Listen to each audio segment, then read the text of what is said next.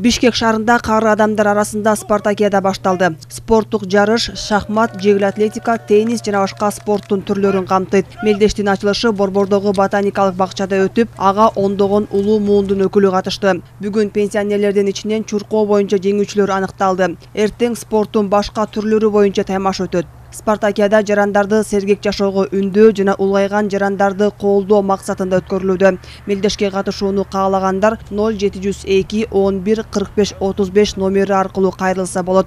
Жыйынтыгында жеңүүчүлөр аныкталып аларга сыйлык байгелер ыйгарылмакчы бияка катышканым үч жыл болду ден соолукту чыңдаш үчүн дайыма биринчи экинчи месттен алып келатам грамота алдым медаль алдым. Анан бул жерде эң жакшысы жана үйдө отурганга караганда адамдар менен таанышат экенбиз түркүнүн адамдары менен ден соолукка бир топ жакшы болот экен бул спартакиаданын негизги мааниси бул улуу муундар өзүнүн ден соолуктарын карап э, чуркап көнүгүүлөрдү аткарып э, ден соолукта болуп э, анан өзүнүн өмүрүн узагыраак узартканга ошого багыттаганбыз да.